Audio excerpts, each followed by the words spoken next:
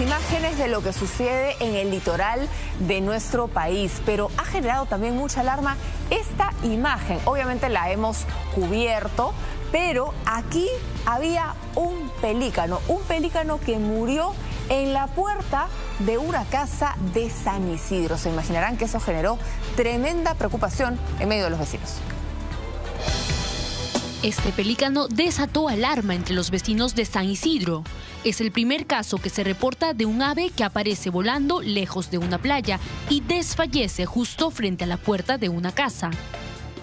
Se cayó, se cayó contra el, encima del árbol, de ahí cayó abajo. El cuello más que estaba moviendo. Eso, o sea, su pico, pero ese es todo. O sea, ya se veía que estaba mal. Ya está mal. El pelícano murió frente a la propiedad de doña Mariana Poblete, en la cuadra 4 de la calle Teniente José Romanet. Al enterarse, ella se sentía prácticamente presa en su propio hogar.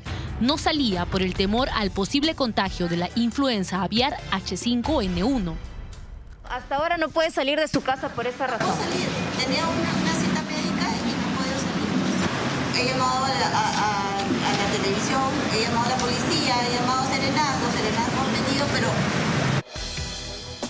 Serenazgo del distrito y la policía cordonaron la zona y cubrieron al ave con un letrero de obras. Se llamó a los representantes del Servicio Nacional de Sanidad Agraria SENASA, los únicos autorizados para recoger a estos animales frente a los 90 días de alerta sanitaria en que nos encontramos. Y bien, después de nueve horas de que los vecinos reportaran el hallazgo de este pelícano muerto, finalmente Senasa recoge el animal totalmente eh, sellado dentro de esta caja para retirarlo del lugar.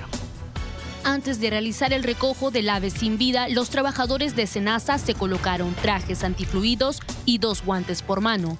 Además, se desinfectó la calle y el árbol con que el pelícano habría tenido contacto.